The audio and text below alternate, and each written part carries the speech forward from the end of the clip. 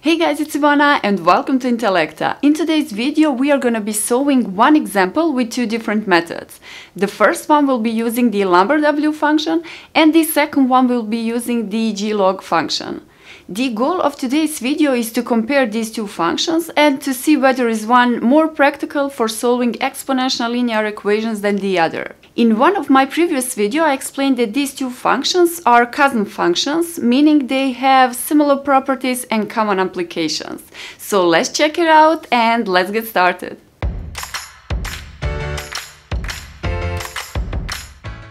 So the first method we are going to be using is the Lambert-W function. If we want to apply the Lambert-W function, we must have this form, x e to the x is equal to some constant it doesn't have to be just the variable x. Here you can have, let's say, 1 over x, ln x, x squared, x cubed. It doesn't matter. It's just important to have the same expression here in front and in the exponent. And then we are able to apply the w, the Lambert w function. w of x e to the x is just this variable here. In this case, it's just x. So let's start with our example. We have 2 to the x is equal to 10x we want to have this form here. That's why we are going to divide this equation here by 2 to the x. You may also divide by 10x, but I think it's just simpler if we divide by 2 to the x. So let's start. 1 is equal to 10x over 2x, 2 to the x. Let's move this 2 to the x to the numerator and then we will have 10x times 2 to the negative x is equal to 1. So remember we want to have this form here, x e to the x, and at this point we have 10x times 2 to the minus x. Instead of this 2 we want to have the base e, and that's why we are going to rewrite 2 to the minus x as e to the ln of 2 to the minus x. And you know this minus x goes here to the front and then we have e to the minus x ln 2. And now let's put this here. We have 10x times e to the minus x ln 2 is equal to 1.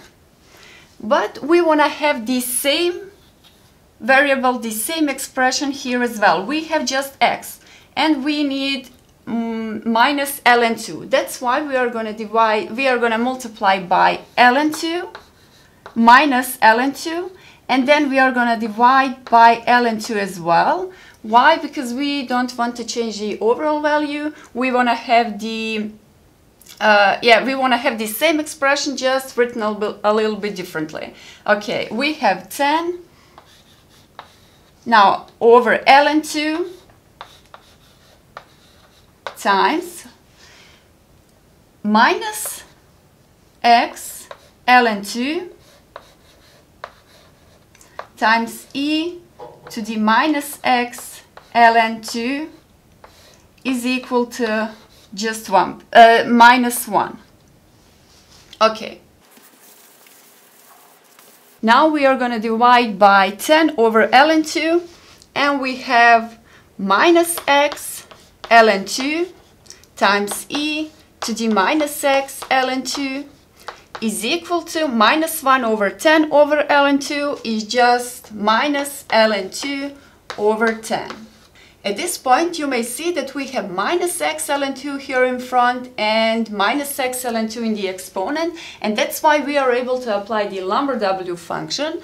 So let's apply w and we have w of minus x ln 2 e to the minus x ln 2 is equal to w of minus ln 2 over 10.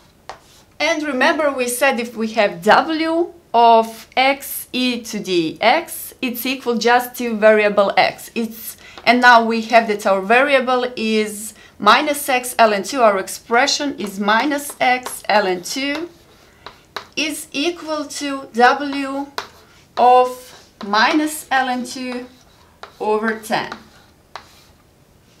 We want to solve this for x and then we get that our x is equal to minus 1 over ln2 times w of minus ln2 over 10.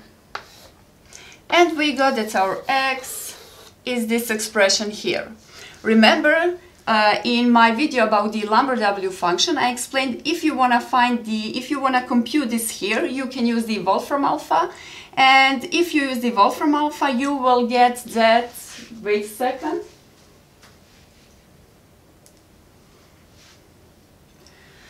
So you will get that the W of minus W of minus ln2 over 10 is minus 0.074.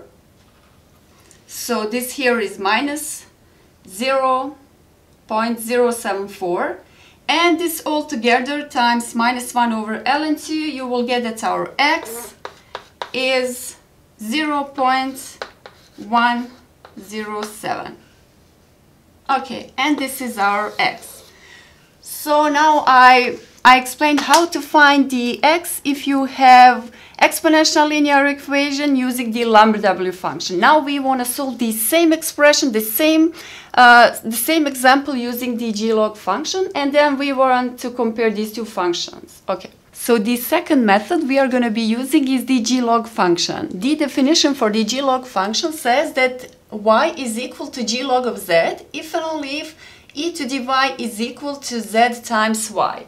That means we want to have the same expression here in the exponent and on the right hand side.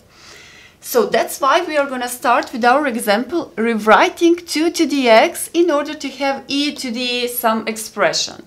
2 to the x is equal to e raised to the log of 2 to the x. And this x goes to the front and then we have e to the x log of 2. So 2 to the x is the same as e to the x log of 2. So let's write it down. We have e to the x log of 2 is equal to 10x. According to our definition, we want to have the same expression on the right hand side. That means we want to have x log 2 also on the right hand side. We have already x. We need just log of 2 and that's why we want to multiply the, the whole expression by log of 2 and then we are going to divide by log of 2. Once again, we don't want to change the overall value. This together gives us 1.